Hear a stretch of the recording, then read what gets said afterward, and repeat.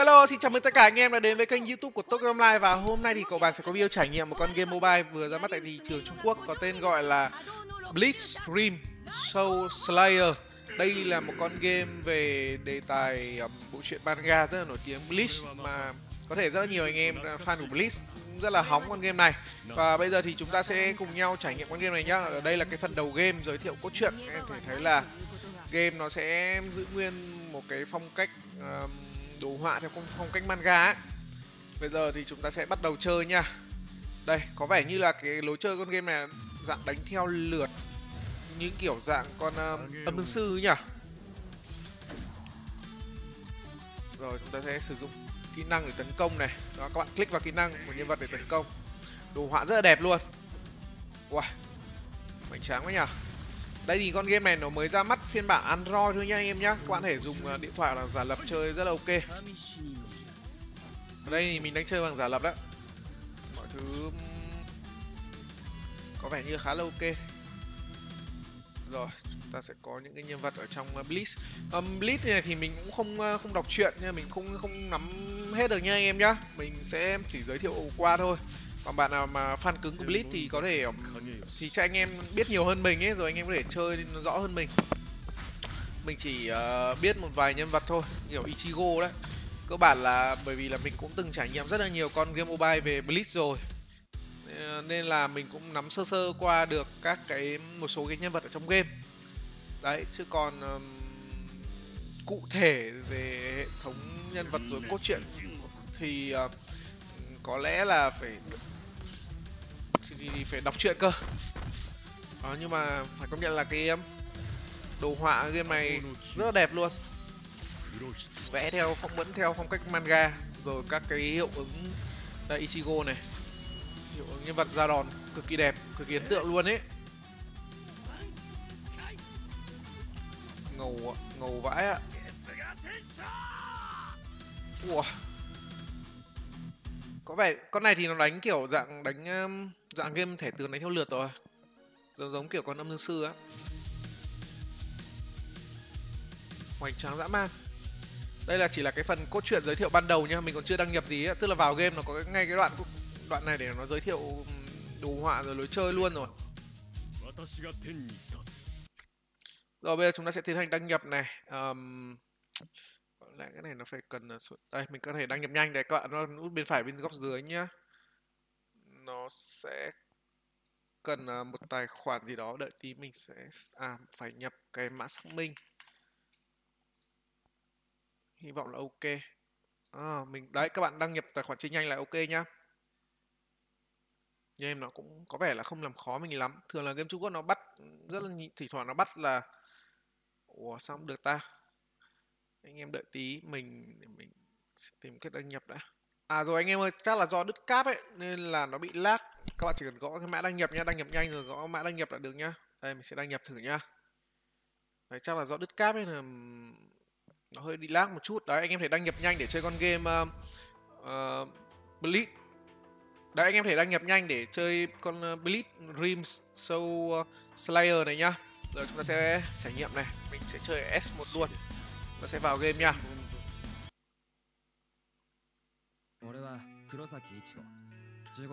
game rất là dễ đăng nhập luôn cũng không cần phải xác minh uh, chứng minh thư này nọ gì cả. Ôi, tại sao cái đồ, đồ họa trong in game này thì hơi xấu này? Nhìn thô dã man. Đấy, nó sẽ phần cốt truyện. Sử dụng hình ảnh in game luôn. Có vẻ như là câu chuyện của game này thì nó tức là nó sẽ bắt đầu từ đầu ấy từ nguồn gốc luôn. Chỉ phải nhân vật sao thiết kế nhìn ngáo nhỉ?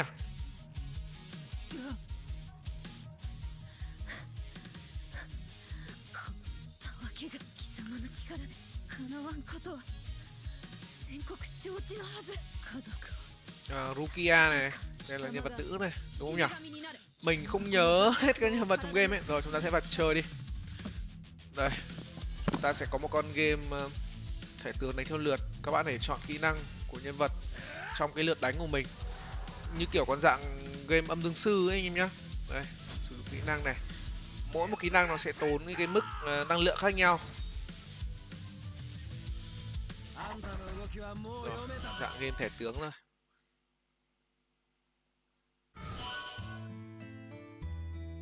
chúng ta sẽ có tính năng triệu hồi game thẻ tướng mà. Chắc chắn là chúng ta sẽ có tính năng triệu hồi nhân vật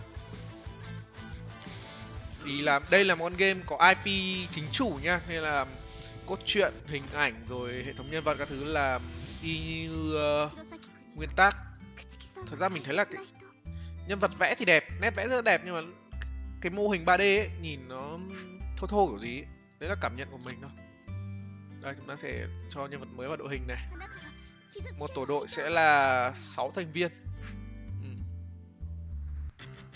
rồi chúng ta sẽ đánh ai đấy tức là về cơ bản thì cách chơi cái con uh, uh, Blitz này thì là dạng game thẻ tướng đánh theo lượt. Không hình như là không xoay chuyển góc nhìn được thì phải. Sau này các bạn nút tăng tốc này thậm chí là auto đây sử dụng kỹ năng. Có vẻ như đây là một lớp nhân vật hỗ trợ. Bút máu. À, đúng. Đấy tức là nhân vật nó sẽ chia ra các vai trò như tấn công tanker cơ rồi uh, bút máu hỗ trợ.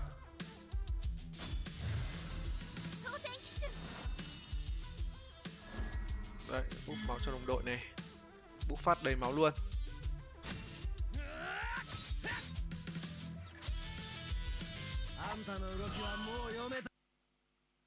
Rồi, nó sẽ chơi ờ, lên cam một chút nhé để tìm hiểu một qua một số tính năng. Cái này mình nghĩ là fan của Blitz thì các bạn có thể tải game về chơi còn để mà chơi sâu thì hơi khó vì game nó sẽ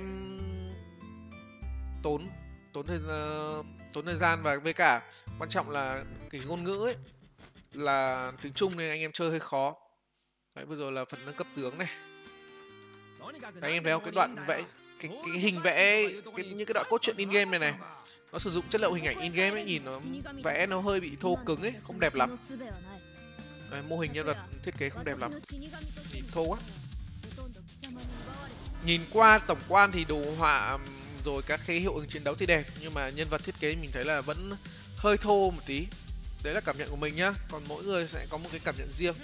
Nói chung là so với những con game về Blitz trên mobile thì mình thấy là con game này có đồ họa này là khá đẹp rồi. À xoay được góc nhìn này anh em này, xoay tầm khoảng 180 độ nhá. Đấy, nó là một con game 3D mà, cho xoay góc nhìn luôn mình thích nhất là cái phần hiệu ứng lúc nhân vật sử dụng kỹ năng, rất đẹp, rất hoành tráng. Còn cách chơi mình nghĩ là cũng không có gì phức tạp đâu. Bạn nào hay chơi game thẻ tướng nhiều là sẽ biết thôi. Đánh tiếp này. Tua nhanh qua phần cốt truyện nhá, chúng ta sẽ chiến đấu. Ui, địch đông đấy. Đây, các bạn để chọn mục tiêu nhá, tức là trong, các bạn hãy chọn mục tiêu để cả team dồn vào để tấn công. Đấy tức là khi mà chiến đấu thì anh em sẽ có rất là nhiều cái thao tác để tương tác như kiểu là xoay góc nhìn này rồi trong lượt đánh thì các bạn thể chọn mục tiêu hoặc là chọn kỹ năng tấn công.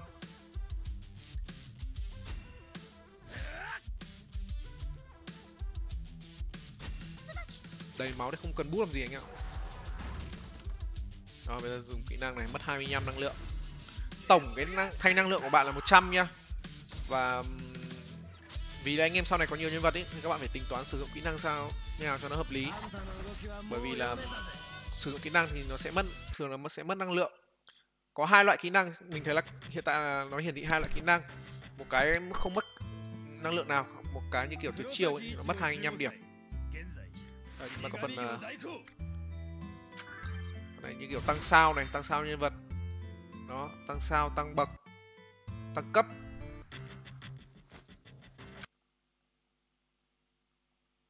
Còn game này thì mình sẽ để một đường link em tải nhé các bạn tải trên tap tap nha anh em nhá các anh chỉ cần um, đánh cái tên tiếng Trung của game vào là ok thôi mình sẽ để một đường link sẵn luôn để anh em tải game trên tap tap. Và như mình đã nói là không chưa có trên iOS nhưng anh em chơi bằng uh, bạn bạn nào không ngoài Android ấy, dùng giả lập. Game này chơi giả lập rất là ok luôn. Game mình thấy là game nhẹ mà.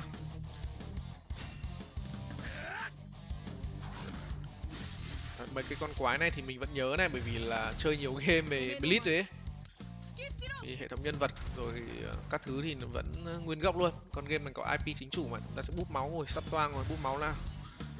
Bút máu bút máu. Em này em nào nhỉ? Mình không biết tên luôn. Cái này chắc là phải đọc truyện mới biết cơ. À, nó bị đóng băng rồi này.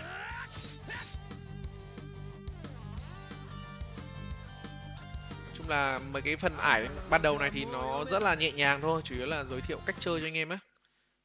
Thế là nó rất là dễ đây nhận thưởng này cố gắng được 3 sao nhận thưởng nhá. Làm sao để được 3 sao? Đơn giản là anh em đừng có chết là được. À, kích hoạt thêm nhân vật mới này. À, không biết tên là gì luôn. Này đúng là chỉ có fan cứng của Blitz mới biết thôi. Đây, cho đồng chí này vào trận.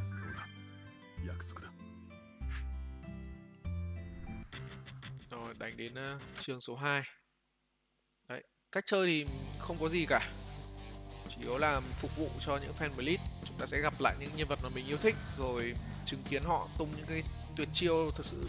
Phải nói rất là đẹp mắt. Đấy, đứng hàng trước hàng sau này. Chưa mở tăng tốc và auto phải đến ải 2.1 và 2.8 mới mở tăng tốc và auto anh em ạ.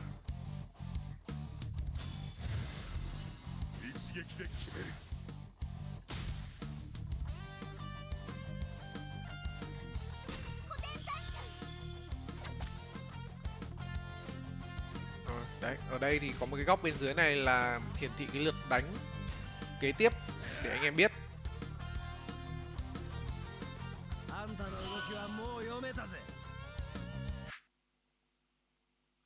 Tí nữa thì mình sẽ xem phần tỷ lệ quay tướng nhá chắc là nhiều anh em quan tâm đến cái điều này. Ở đây thì vẫn chơi theo cái hướng dẫn của game thôi. Đây, học kỹ năng này tăng cấp kỹ năng lag rồi. Nói chung là mình đang chơi bản nước ngoài với cả đang đứt cáp ấy. Nên thỉnh thoảng nó chơi game bây giờ nó khó chịu lắm, nó cứ bị delay á, anh em ạ. Cái này phải chịu thôi. Hoặc là các bạn dùng cái mình quên mất bật vpn lên ấy. Nếu các bạn chơi game nước ngoài thời điểm này, anh em nên kiếm cái vpn mà chơi nhá. Ok, bây giờ chúng ta sẽ tiếp tục nhá. Sau khi mình bật vpn ấy, bây giờ là ổn định hơn rất nhiều rồi. Chúng ta sẽ tiếp tục chơi thêm một lúc nhá. Ừ, tí nữa mình sẽ tìm hiểu qua về tỷ lệ quay tướng này rồi một số cái tính năng nâng cấp tướng của cái con game uh, Blitz Rim Soul Slayer này nha. Đó, bật VPN lên mượt hơn hẳn. Bây giờ chúng ta có tính năng tăng tốc trận đấu này. Tí nữa ải 2 trên 8 thì chúng ta sẽ có tính năng auto. Đợt này đang đứt cáp nên chơi game nước ngoài khó chịu lắm anh em ạ. Rất là lag. Mình khuyên là anh em nên dùng VPN để chơi game nước ngoài nha. Không là không chơi nổi đâu kiểu bị delay ấy giờ ban ngày nó còn lag nữa là buổi tối.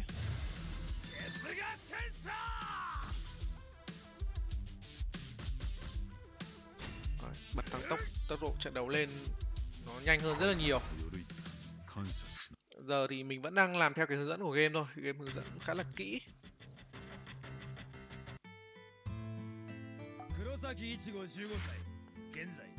À, có phần uh, tăng level này vậy là có như, mình thấy là như, chơi như những con game thể tướng khác thôi anh em ạ. Cũng kiếm nguyên liệu tăng bậc, trắng, xanh lá, xanh dương, tím và cao nhất là cam. Sau đó cũng học kỹ năng rồi tăng level, tăng sao, đầy đủ cả.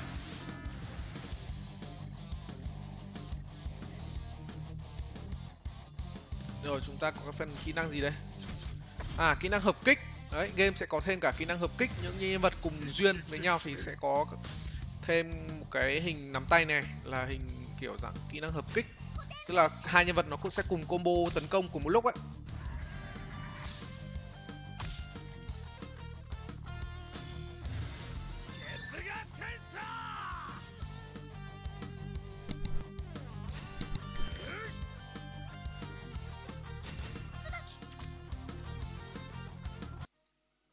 À, phải cốt truyện này anh em để xem nhá, mình sẽ bỏ qua thôi con game này lưu ý là các bạn khi mà chơi ban đầu ấy thì em không mình vừa bị bị rồi. Tức là nếu lần đầu vào chơi thì anh em không cần nhập chứng minh thư nhân dân và số điện thoại tên Trung Quốc đâu. Nhưng mà lần sau anh em vào lại là sẽ phải nhập nhá. Anh em lưu ý. Đây mình sẽ đây mình tăng bậc này từ trắng lên xanh lá anh em thấy không? Rồi xanh lá cộng 1 cộng 2 rồi mới đến xanh dương. Bạn nào mà chơi game thẻ tướng nhiều đã biết rồi. Rồi lại đánh tiếp. Đấy, game hướng dẫn rất là kỹ luôn nãy giờ chưa thể dành tay đi tìm hiểu các tính năng khác. Mình có thể đoán được là game này nó sẽ vẫn có đầy đủ các tính hoạt động như kiểu là săn boss rồi phó bản nguyên liệu hàng ngày các thứ này nọ để anh em chơi thôi. Cũng không có gì cả chủ yếu là con game này xây dựng ra để phục vụ cho những fan của Blitz Đấy, và game đồ họa đẹp mà. Đặc biệt là lúc cái nhân vật nó ra chiêu ấy rất là đẹp. Chẳng qua là mình không thích là cái phần cốt truyện ấy cái hình vẽ lúc cốt truyện nhân vật nó vẽ nó hơi thô sống tí thôi chứ còn lại thì nếu mà nhìn sơ qua như này anh em thể thấy làm đồ họa xoay rất đẹp và trong lúc chiến đấu thì anh em có thể quay góc nhìn 180 độ ấy. Đấy quan sát nhân vật chiến đấu khá là hoành tráng.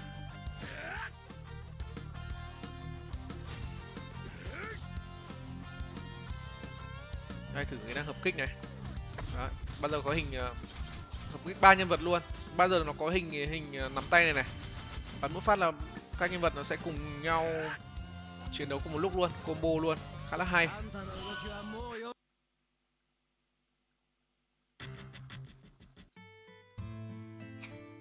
Rồi, chúng ta có qua đăng nhập 7 ngày này.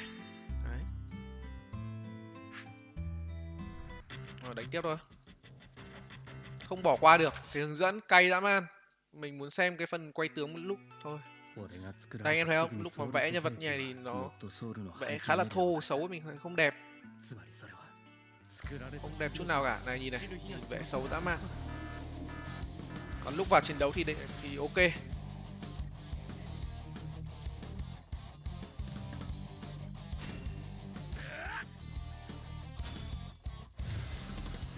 Chắc là có phần uh, tính năng sẽ tắt cái hoạt cảnh này đi. Vì mình sau này anh em chơi nhìn mãi này nó cũng chán ấy. Với cả nó sẽ hơi mất thời gian. Chắc là trong phần setting sẽ có cái cho phép là tắt cái hoạt cảnh lúc mà tung chiêu cuối á.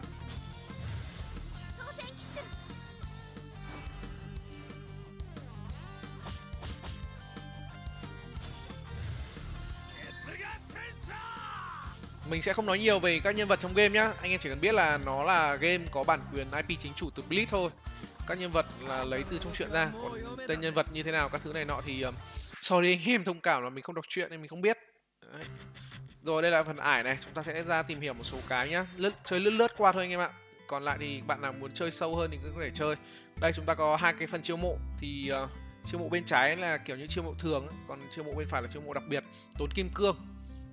Anh em có hai loại chiêu mộ nhá chiêu mộ vàng và chiêu mộ kim cương. Thì chiêu mộ kim cương tỷ lệ nó sẽ cao hơn. Đây tỷ lệ này anh em này. Úi dồi thấp đấy nhở? Chiêu mộ vàng này R 2,16%, SR là 1,2%, SSR là 0,6%, SSR cộng là 0,04%, rất là thấp.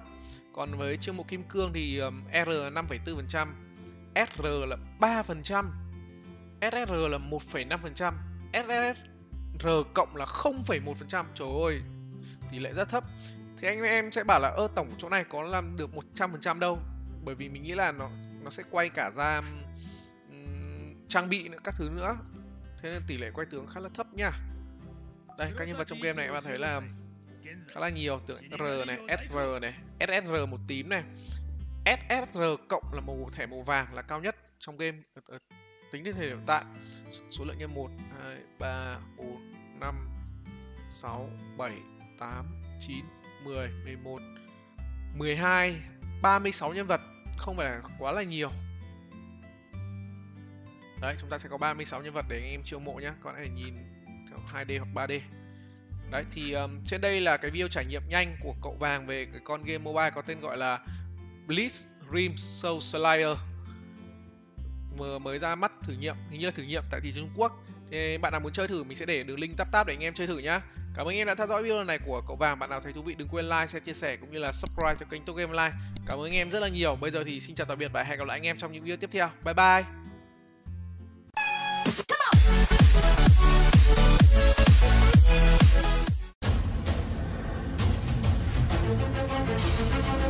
on.